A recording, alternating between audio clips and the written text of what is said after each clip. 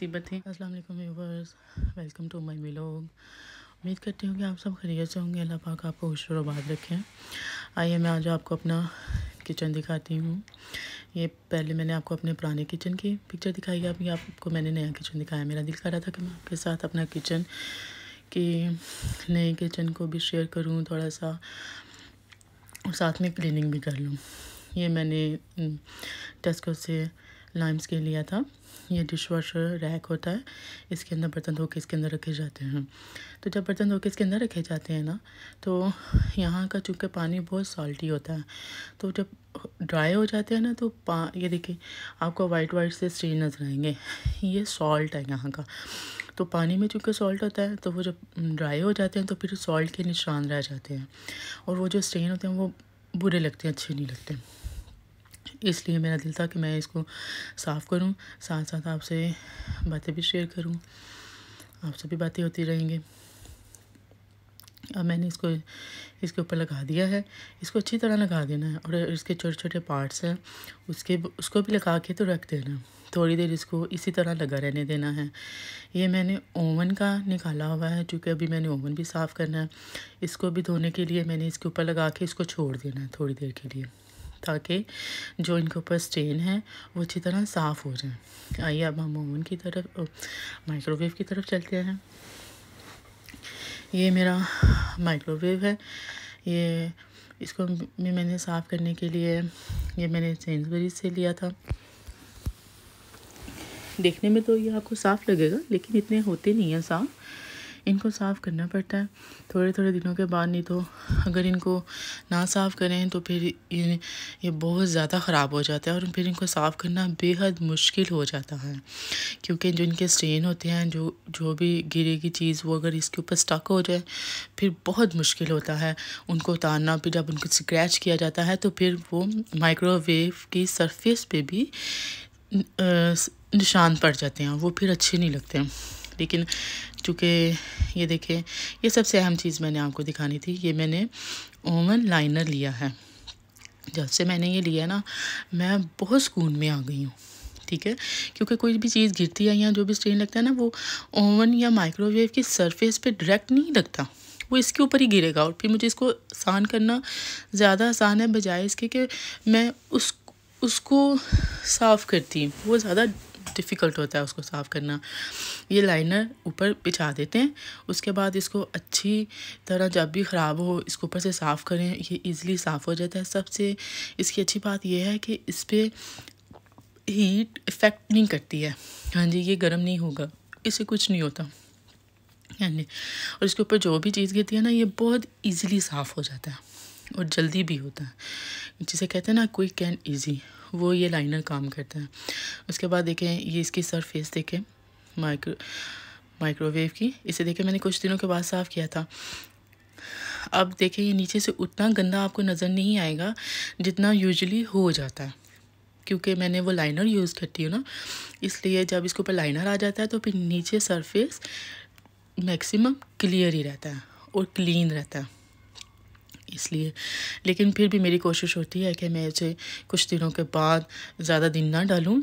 कुछ दिनों के बाद ही विद इन वन वीक में मैं इसको ज़रूर साफ़ करती रहती हूँ।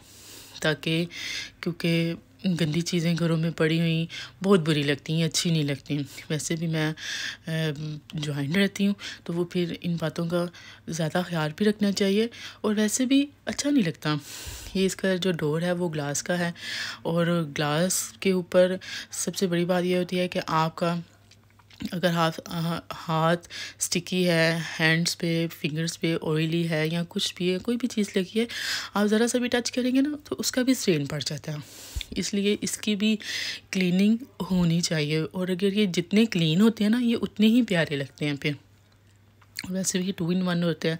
अगर घर में जैसे कोई फटाफट कोई मेहमान आ जाते हैं ना अचानक से और ए, मुझे तो ये होता है मैं अब ऊपर क्या जाऊँ अपने रूम में? मैं फटाफट इधर ही खड़ी होकर अपनी लिपस्टिक वगैरह लगा लेती हूँ। टू इन वन ज़रा काम कर देता है क्योंकि ये एज अ मिरर भी यूज़ हो जाता है। ये देखिए अब जो हमने उसको सारा लिक्विड सा लगा के रखा था। अब मैं उसको क्लीन करूँगी। अच्छी तरह ताकि ये इसके अंदर हम चम्मच और फोक वगैरह सारी चीज़ें रखते हैं। ये उसके छोटे छोटे पार्ट्स हैं। मेरी कोशिश है कि उसको अच्छी तरह रब करके अच्छी तरह से साफ़ कर दूँ ताकि स्टेन क्योंकि देखने में तो वो लगता है कि जस्ट पानी के स्टेन है ना? या सॉल्ट के स्टेन है, उतर जाएँगे, हम आम सा वॉश करेंगे तो ख़त्म हो जाएँगे। जबकि ऐसा नहीं होता।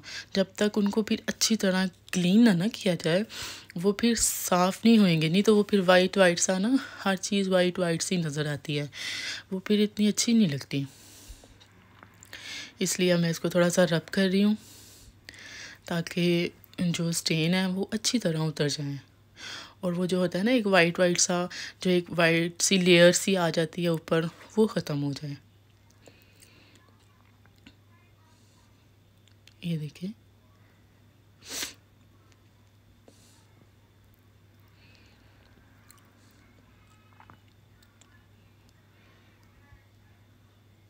जी, या बहुत मैंने कोशिश से इसको इसको साफ़ किया फिर मैं आपको इंशाल्लाह दिखाऊँगी भी।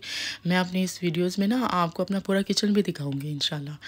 सारा क्लीन करके आपको फिर मैं अपना पूरा किचन, टोटल किचन का व्यू और उसका मैं दिखाऊँगी। फिर मुझे ज़रूर बताइएगा कि मेरा किचन आपको कैसा लगा। मुझे तो खैर बहुत प्यारा लगा।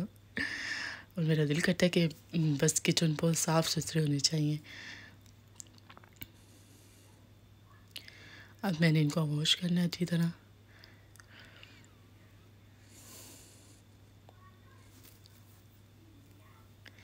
क्योंकि वो अक्सर हमारे बड़े कहते हैं ना कि अगर आपने किसी के घर जाना है, अगर आप ये देखना चाहते हैं कि भी खतून खाना, यानी कि सुगर हैं या साफ़ सुथरी हैं, या आप फ़र्स्ट आपकी मीटिंग हो रही है और आप को थोड़ा आइडिया होना चाहिए कि भी घर कैसा होगा। तो अक्सर मैंने ये बात सुनी है कि बड़ी अम्मियाँ ये कह रही होती हैं कि उनका दो चीज़ें देखें, एक किचन देखें और एक बाथरूम देखें। कि अगर वो साफ़ सुथरे हैं तो अच्छे हैं तो समझ जाएँ कि खुतून खाना साफ़ सुथरी तबीयत की है। यानी कि उसकी तबीयत में गंदगी नहीं होगी। किसी हद तक बात तो मुझे ये वैसे ठीक लगती है। आप भी अपने व्यूज़ ज़रूर दीजिएगा और बताइएगा।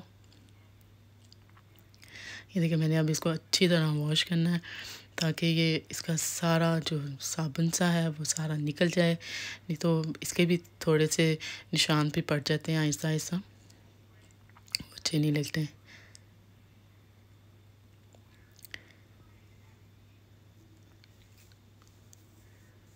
ये देखें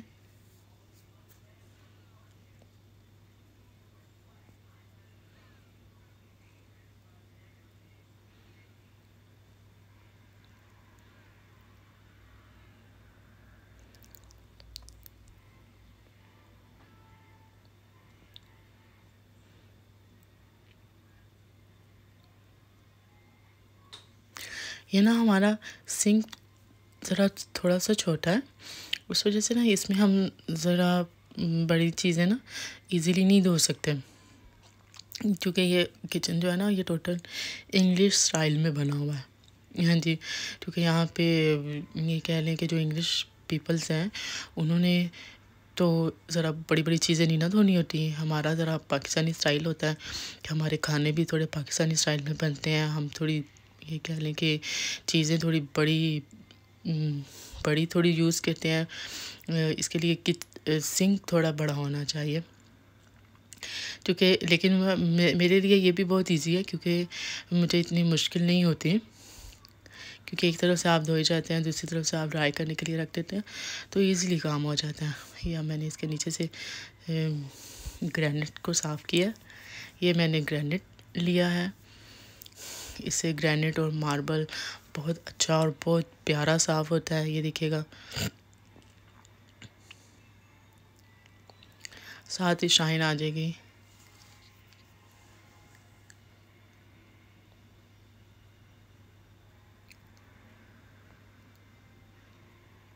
नहीं अब मैं इसको ड्राई कर रही हूँ, क्योंकि ये देखें, मैंने ड्राई किया ना, अब आपको कोई भी स्टेन नज़र नहीं आ रहा। कोई भी वाइट वाइट सा आपको बिल्कुल नहीं फील होगा कि इसके ऊपर वाइट सॉल्ट के कोई स्टेन था भी या है भी। इतना अच्छा और प्यारा सा साफ़ हो गया।